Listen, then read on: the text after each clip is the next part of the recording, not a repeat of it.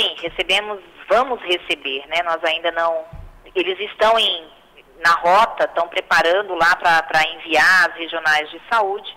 Hoje receberemos 11.649 doses de vacinas. E dessas vacinas, quanto fica em Foz? Qual é o público que vai ser vacinado? Então vamos lá. Ficam em Foz do Iguaçu 7.778 doses. O público são a população em geral, os caminhoneiros, trabalhadores do transporte coletivo rodoviário de passageiros, população em situação de rua, pessoas né, em situação de rua, trabalhadores da assistência social, educação ainda, que é uma fase complementar, gestantes e puérperas. População geral tem um número de segunda dose ou primeira dose? Não, todas essas doses são primeiras doses, tá? Essas 7.778 doses que ficam em Foz do Iguaçu, todas são D1, todas são primeiras doses. Tá, para a população em geral, 4.434, isso? Para a população geral, para Foz do Iguaçu, 2.508 doses. Tá. Para a nona regional, 4.434 doses. Caminhoneiros, é da região ou são caminhoneiros que moram em Foz do Iguaçu? Toda a região. Para caminhoneiros, nós vamos receber um total de 1.310 doses. Destas, 790 doses ficam em Foz do Iguaçu. E esses caminhoneiros precisam morar uh, aqui em Foz? E se eles estiverem em outro país, por exemplo, Uruguai, Chile, como é que faz para essa vacina? Como é que acontece isso? E, por exemplo, caminhoneiros de outros estados que estão em Foz por causa do Porto Seco? Veja bem, as doses são destinadas à população residente. Então, foi é, estipulado pelo governo do estado e também pelo Ministério da Saúde que as doses é, é, encaminhadas para esse público de caminhoneiros, pessoas do transporte coletivo e até mesmo população de rua seriam dose única, que é a vacina da Janssen que chega, é, que chegou ontem ao, ao estado do Paraná. Então essas doses são todos os municípios fizeram um levantamento do, do, do, número de profissionais dentro desta área residentes em seu município. Então, essas doses virão para estes caminhoneiros residentes nestes municípios. Ô Yelita, então só para deixar ainda mais claro aquilo que você está trazendo, é, as vacinas, essas doses todas chegando à Foz do Iguaçu, são de diversas é, marcas? Isso. Nós estamos recebendo hoje, é, apesar da gente não estar fazendo a divulgação, nós estamos dando um, um, é, um diferencial hoje por conta dessa vacina que é dose única, que vem exclusiva para esse público de caminhoneiros, né? De, de, de, desse, desse público específico que vai receber a dose única. Quando a gente coloca, rotula as demais vacinas, nós tem, estamos tendo algum, algumas dificuldades com o município de Foz do Iguaçu da escolha de vacinas, né, o que não é o adequado. Vacina boa é a vacina que está no braço.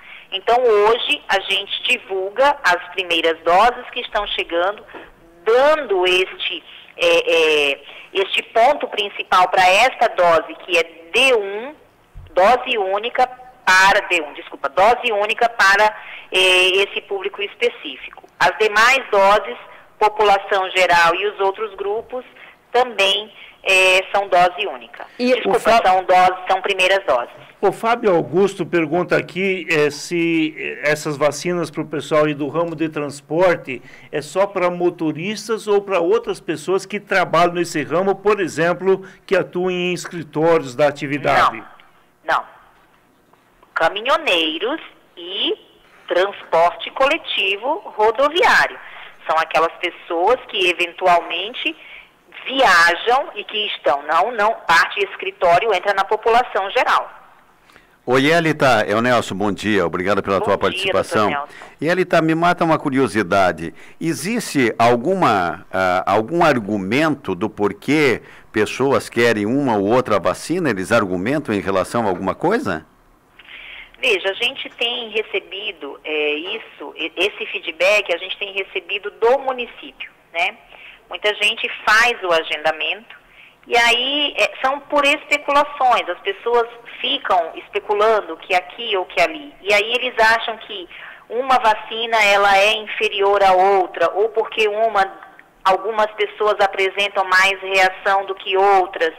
Então é muito relativo. Né? A, a, gente observa que alguns escolhem porque viajam muito para o exterior e dizem que lá só aceitam esse tipo de vacina, o que não é verdade. Né? Então, assim, existe uma, uma, uma divulgação incorreta da, da, dessa questão da vacina ser me, uma melhor do que a outra. A vacina tem a mesma finalidade, ela vai imunizar contra o mesmo vírus.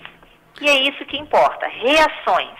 Eu até uso um exemplo que quando a mãe vai levar o seu filho para tomar a vacina, ela é orientada que vai ficar dolorido o local, que pode dar, tem um vermelho, que vai ficar, por exemplo, vai ter febre, ou ela vai, vai ficar irritada, a criança vai ficar incomodada. Muitas vezes a criança fica até quando ela recebe a vacina na perninha, até fica mancando um pouquinho. E os adultos não podem ter nenhum tipo de sintoma após uma vacina. Então são critérios que a gente muitas vezes não, não, não entende, né? Mas a maioria que a gente ouve é porque as pessoas não querem sentir sintomas pós-vacina. A verdade é o seguinte, Elita, eu acho que cabe a nós também, enquanto meio de comunicação, ajudá-los nessa tarefa de esclarecimento né, que as vacinas, uma vez aprovadas pelos órgãos de vigilância sanitária, caso da Anvisa, aprovados por secretarias municipais, estaduais, Ministério da Saúde, é porque todos os testes necessários para se ter a segurança né, sobre uma vacina já foram ultrapassados, né? Não Com há por que fazer, fazer discussões. E essas notícias, e eu faço questão de repetir isso, porque tem muita gente ouvindo, e essas notícias que uma ou outra pessoa no planeta nesse momento, quer dizer, é número que não chega a 10 pessoas que não se sabe exatamente se foi em consequência de uma ou de outra vacina. O que se sabe é que foi contemporâneo ao tempo da vacinação. Nada além disso por hora né? É uma Exatamente. Um, como uma mera, uma mera informação. E daí para dizer que a vacina A, ou que a vacina B ou C é, é, é, traz mais risco ou é mais eficiente, não há um argumento científico para esse tipo de coisa, né, Yelita? Então, portanto, você pode ter medo da injeção por ter medo da injeção, né?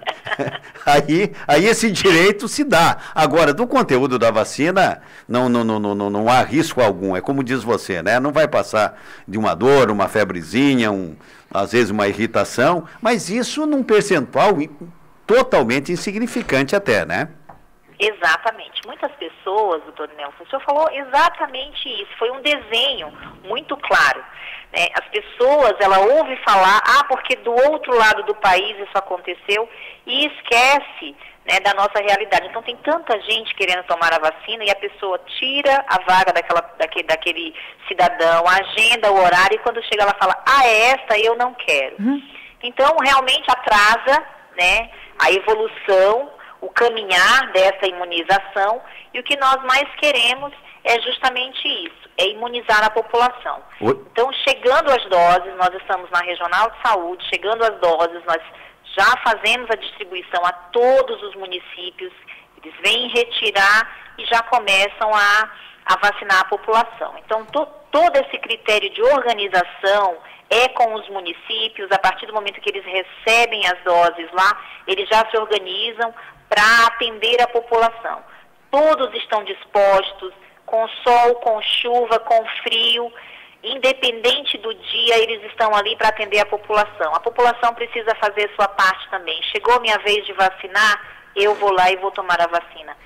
Salvo se ele tiver uma contraindicação, que é o caso das gestantes, por exemplo, que é uma vacina que vem específica para ela.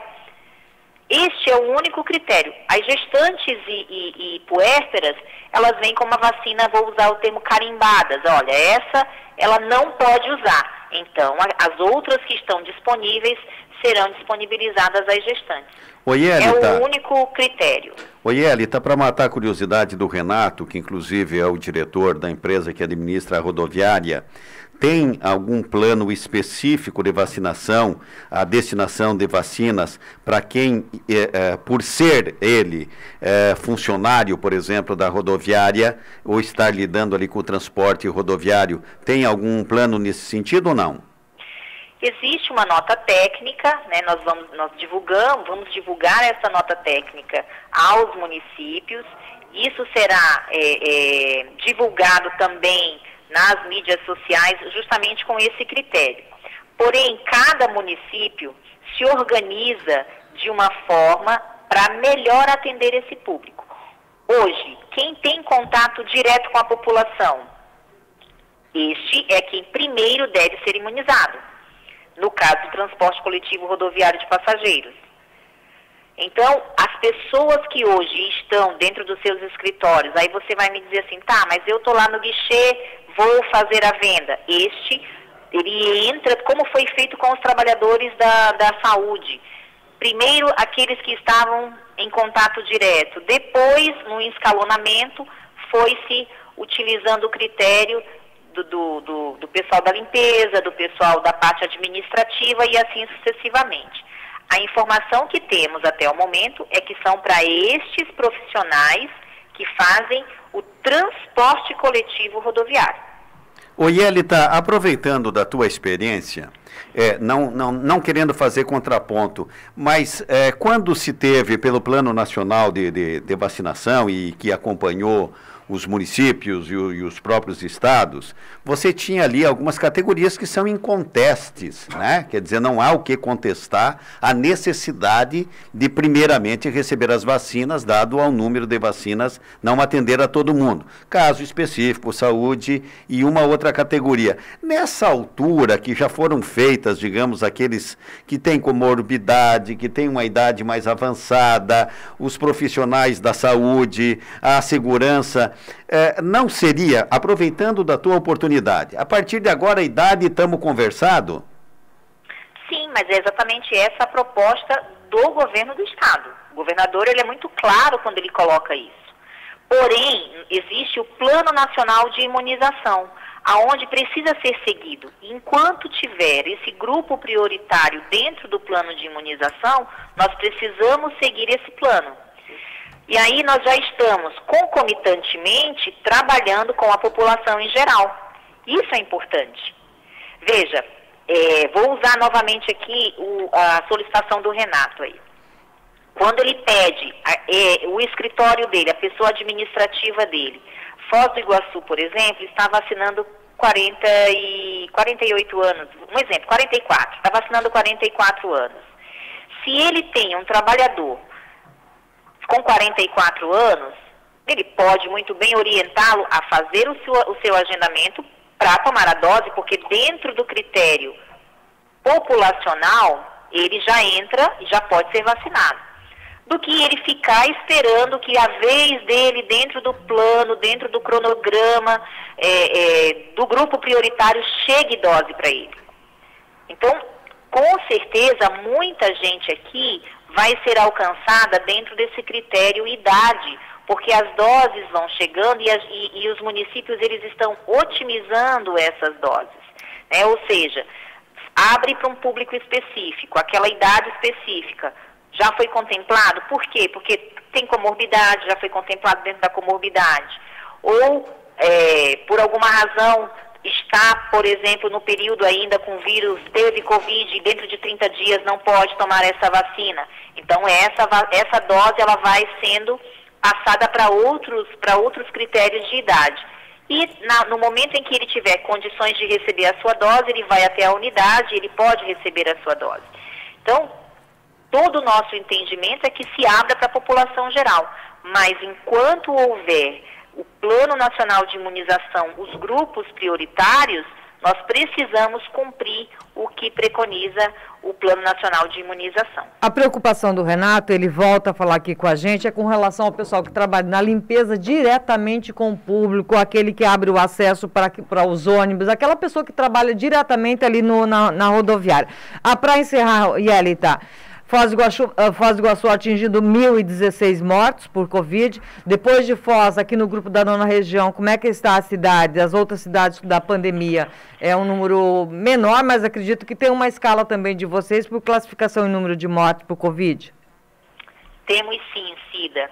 Infelizmente, nós estamos num, num momento bem, bem delicado, né? Cada dia a gente, apesar de termos diminuído, né, houve um, um, uma diminuição no número de óbitos durante essas últimas semanas aí, apesar de, acho que teve, o único dia que teve cinco óbitos, que ainda é um número alto, né? A nossa proposta é que realmente esses números eles caiam menos ainda.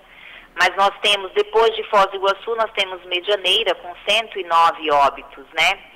Uh, depois de Medianeira, a gente vem para Santa Terezinha de Itaipu, com 88, 89 já, e São Miguel do Iguaçu com 69. Então a gente tem aí também Matelândia com 55, aí seguimos para Itaipulândia com 20, Ramilândia com Missal com 19, uh, cadê? Missal com 19, Ramilândia com 12 e Serranópolis com 8. Só... Então, assim, são números para a nossa região, né, são números altos. Mas a gente considera, a gente considera que esses números eles estão diminuindo. Tá. Justamente por conta da vacinação, é o impacto da vacina, nós observamos isso. Eu vou fazer uma pergunta aqui que o doutor Nelson Nélio, vez ou outra, aborda. Ah, o Estado, já que você responde pelo Estado, está investigando, buscando informações das pessoas que já foram vacinadas e acabaram falecendo depois de ter sido vacinada pela doença de Covid? Sim. Na verdade, é, nós precisamos dos municípios nessa questão. O que, que a gente pede, nós temos já orientado junto ao CIEVES, junto à epidemiologia da Regional de Saúde, orientado aos hospitais, aos estabelecimentos de saúde, que façam né, na, na, notificação deste óbito, que coloque esta observação se o paciente já esteve ou não imunizado. Isso é muito importante. Né? Veja, como o doutor Nelson mesmo falou, são números pequenos, se nós pudermos observar, de pessoas que foram a óbito depois de ter tomado a primeira dose. Já tivemos casos de pessoas já com as duas doses e que infelizmente perderam a batalha. Mas essa, essas pessoas são pessoas, a, a maioria, pessoas com comorbidades, pessoas que já tinham algumas debilidades, né? Então isso realmente é algo que a gente precisa fazer uma busca ativa bem apurada, bem de perto. E a gente não consegue fazer isso sozinho. Por isso que nós precisamos do apoio dessas instituições e isso está sendo orientado. Deixa eu aproveitar, Yelita, falamos de vacina de Covid até agora, uma outra área. O município de Foz do Iguaçu está anunciando que a partir de segunda-feira, a vacina contra a gripe, da influenza, vai estar aberta para toda a população. De seis meses para cima, todo mundo que tiver interesse poderá ser vacinado. Quanto a fornecimento dessas vacinas, nenhum problema por parte do Estado? Problema. É, foi aberto para a população geral, justamente porque nenhum município, os nossos municípios, vou falar enquanto regional de saúde, atingiu a meta de vacinação desse é, para a influenza. Então, uma vez que não se atinge a meta, nós precisamos imunizar a população. Então, abriu-se é, é, esse grupo, né, abriu para toda a população, justamente para que a gente possa, de uma forma maior, dar uma cobertura vacinal maior também. Então, todos os municípios da região têm doses de vacina para aplicar e está chegando mais doses também. Agora são 12 horas e 35 minutos. E está para terminar. É só para repetir em cima desse. Gostaria que você explanasse ainda um pouquinho a respeito eh, dessa situação eh, da pessoa ter recebido uma dose ou duas doses de vacina, você me permita, por favor, eu vou aproveitar a tua gentileza. Eu posso relatar um caso de Capanema que pessoalmente eu conheço, a pessoa era amiga minha, eh, vacinada com a segunda dose, mesmo assim contraiu. Eu não sei se entre o prazo da segunda dose, qual era o prazo dele ter contraído entre a segunda dose e o dia que ele contraiu. O fato é que ele foi ao hospital e infelizmente ele foi na, não tinha UTI na região, infelizmente, infelizmente não tinha UTI na leito de UTI. Ele pertence à regional de Francisco Beltrão, uh, no sudoeste, e aí, uh, num ato, uh, num procedimento de, de entubar, ele acabou sofrendo uh, uma parada cardíaca, resistiu a primeira e a segunda, infelizmente, ele não conseguiu resistir, então não se sabe se a letalidade, ou seja, o óbito realmente foi consequência uh, do Covid. Claro, o Covid é que provocou toda aquela situação, ou se foi um infarto por conta de um procedimento e que ela acabou não resistindo. Mas o que a gente percebe, é isso que eu queria observar com, uh, com você, aproveitando a tua gentileza, é que o número de pessoas idosas hoje ocupando leitos de hospital, ouvindo a óbito por conta do Covid, é insignificante perto do que aquele pico que nós já tivemos o ano passado. O que vale dizer que qualquer leigo pode observar a importância da vacina, né, Elida? Com certeza. Veja, uh, o fato de estar imunizado com uma dose ou com duas doses não me deixa fora de um novo contágio. Ou a primeira vez, ou um segundo contágio. A vacina, ela não evita que você seja contaminado novamente. A vacina, ela vem para evitar uma forma mais agravada da doença, para evitar que a gente tenha a internação. Porém, é tudo novo. Então, algumas pessoas, como você mesmo colocou, tomou a primeira dose, mas ele já poderia estar contaminado quando tomou a primeira dose. Ele poderia entrar entre a primeira dose, 14 dias mais ou menos para fazer uma efetividade. Coronavac são intervalo de 25 dias entre a primeira e a segunda dose. AstraZeneca e Pfizer são 12 semanas. Então tudo é muito relativo e tudo depende muito. O que, que nós visualizamos hoje? Novas variantes. Novas variantes mais contagiantes e mais letais também. Então, por isso que a gente sempre fala, o fato de eu, de, eu, de ter tomado duas doses, eu não posso deixar de fazer o uso de máscara, deixar de fazer a higienização das mãos e também evitar o distanciamento social. Isso precisa ser mantido até nós termos um percentual populacional efetivamente imunizado. Isso vai fazer com que o vírus pare de circular. Como você mesmo colocou aí, a questão dos idosos, da internação, a gente observa que diminuiu a internação de idosos. Ainda é um número elevado se considerarmos, mas diminuiu bastante. Então, todos esses cuidados precisam ser colocados em prática, continuar, né? Precisam ser continuados colocando em prática. Então, essa é, é, é, é esse seu relato já aconteceu aqui também na nossa região, sem sombra de dúvida, infelizmente, lamentavelmente. E é justamente por isso, na pergunta da Cida, que a gente precisa fazer esse levantamento. Né? Esse paciente, ele esteve internado, tomou, eu, eu, eu recebo, por exemplo, um relatório, paciente internado se recusou a tomar a vacina, fez o uso de um determinado medicamento, ou o paciente internou e tomou primeira e segunda dose, mas o paciente teve a forma agravada da doença, precisou ser entubado, mas conseguiu sair do tubo, está se recuperando. Infelizmente tem sequelas. Então são vários históricos que a gente recebe. E a gente vai a cada dia, e como as vacinas também serão aprimoradas a cada vez, né, nós provavelmente esta vacina ela fará parte do nosso calendário vacinal. Nós tenhamos que tomá-la anualmente, assim como é a da influenza Assim a gente acredita e a gente espera que isso acabe o mais rápido possível.